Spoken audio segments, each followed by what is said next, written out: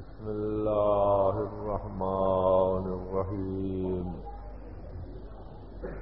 وسيعلم الذين ظلموا أي منقلب ينقلبون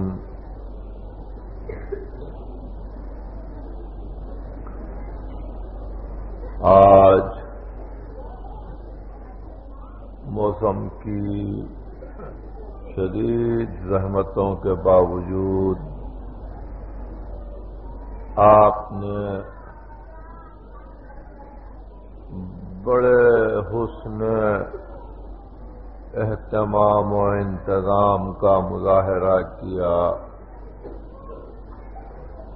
اور ازا خانے سے چلے ازا خانے تک پہنچے۔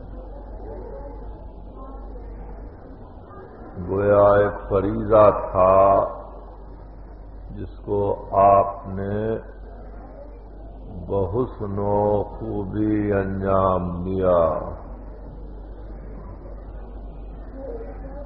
ظاہر ہے کہ یہ کام آپ ہی کر سکتے تھے، آپ ہی کا حق تھا۔ کہ ان زحمتوں کے باوجود آپ یہ فاصلہ طے کرتے، آپ نے زحمت کی، کسی نے دعائیں دی آپ نے تکلیفیں اٹھائیں، کسی نے دامن پھیلا دیا ہوگا، بارگاہ رب العزت پروردگار میرے بچے کے ماتمدار آ رہے ہیں۔ بہرحال، اب بجز خاک اڑانے کے اور کیا ہے؟ کہلوم بھی ہو گیا۔ معلوم نہیں پھر زندگی فرصت دے کہ نہ دے، معلوم نہیں وقت ساتھ دے کہ نہ دے، اب آئندہ سال ہی دیکھا جائے گا۔ اب تک تو خدمت ہوئی اور خدمت کی حق ادا نہ ہو سکا اگر سے خدمت کی ہے۔ لیکن چہلم کی اس مجلس کے بعد بس یہی ہے کہ اگر جیتے بچے تو پھر آئندہ سال ان مہمانوں کو بلایا جائے گا اور رخصت کیا جائے گا۔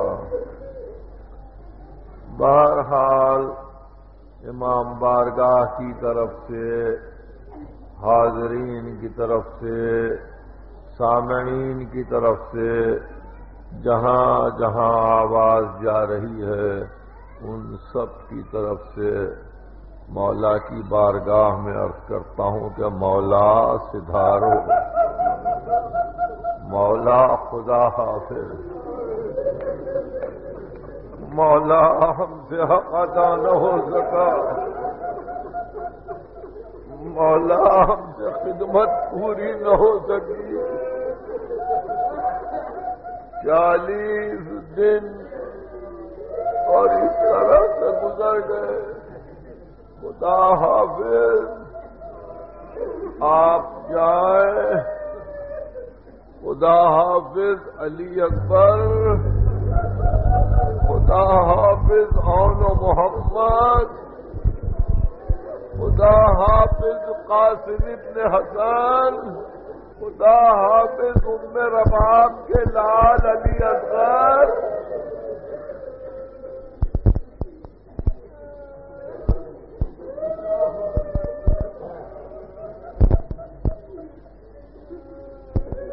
تڑپتا ہے دل، دکھتا ہے دل ایک تصور سے۔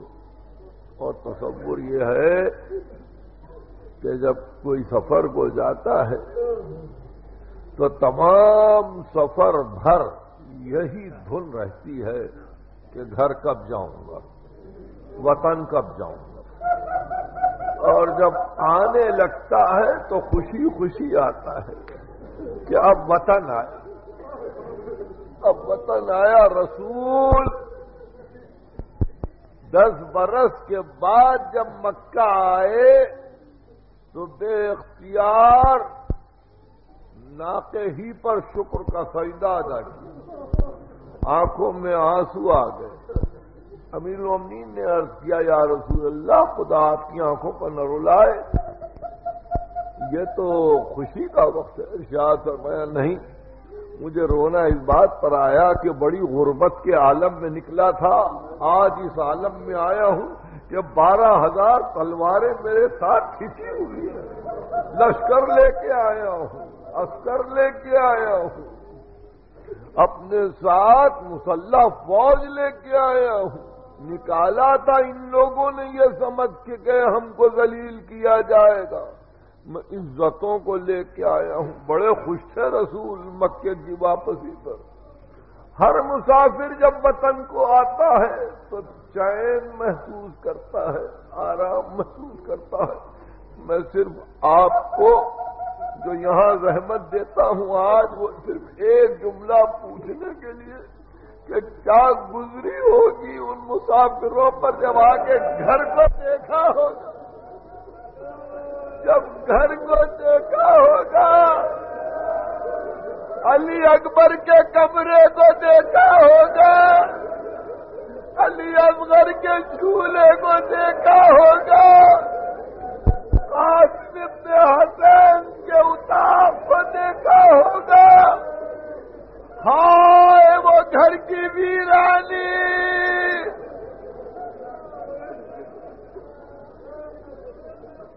خدا کسی مسافر کو اس طرح وطن واپس نہ لائے۔ اب وطن میں آئی زینب۔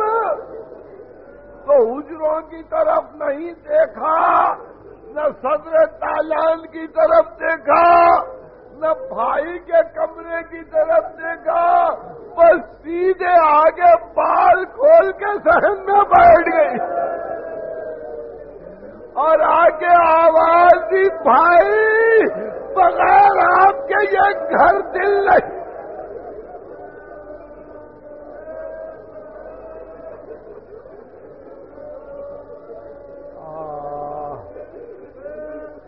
روز آشور روز آشور شام غریبہ منانے والے۔ عاشور شام غریبہ منانے والے آج شام وطن منا رہے ہیں۔ کہ وطن کی شام کیسی ہوگی؟ اور کس طرح سے بیویوں نے اپنے اپنے رہنے کے مقامات کو دیکھا ہوگا؟ آفتاب ڈوبا، رات ہوئی۔ عابد بیمار کی خدمت میں کنیز نے جا کے کہا ثانیہ زہرا یاد کر رہی ہے عابد بیمار پہنچے، اور کیا پھوپھی اما کیوں بلایا؟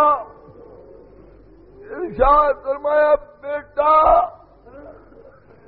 صرف اس لیے زحمت تھی کہ صبح کو جب روزے پہ گئی تھی جب کے سارا قافلہ ساتھ تھا۔ بچے ساتھ تھے، بیبیاں ساتھ تھی مدینے والے بھی ساتھ ہو گئے تھے، بنی ہاشم بھی ساتھ ہو گئے تھے۔ بیٹا اگر اجازت دو تو رات کے اندھیرے میں ذرا ماں کی قبر پہ جا کے آ جاؤ۔ اگر اجازت دو جاؤ اور کیا پھوپھی اما ضرور جائیے۔ تو ارشاد فرمایا، بیٹا، اکیلے جاؤں گی، کسی کو نہیں لے جاؤں گی۔ ماں سے بہت کچھ کہنا ہے۔ جیسا کہ صبح کو نشتر پارک میں کہہ رہا تھا، اس طرح سے ناکا چلا کہ ایک کنیز کو ساتھ لیا۔ سیدھے جنت البقی کے قبرستان میں گئی، دور سے ماں کی لہر نظر آئی، علی کی بیٹی ناکے سے گر پڑی اور چلتے ہوئے نہیں، بلکہ گھٹنوں کے پر آہستہ آہستہ حرکت کرتے ہوئے ماں کی لہر کے پاس آئی۔ اور ایک مرتبہ قبر پہ رخسار رکھے کا اما زینب آ گئی اما زینب آ گئی اور اما میں نے کسی سے نہیں کہا۔ اب آپ سے کہتی ہوں، اما اما میرے بازو کو تو دیکھو اما میرے پیٹ پر درا کے نظر دیکھو۔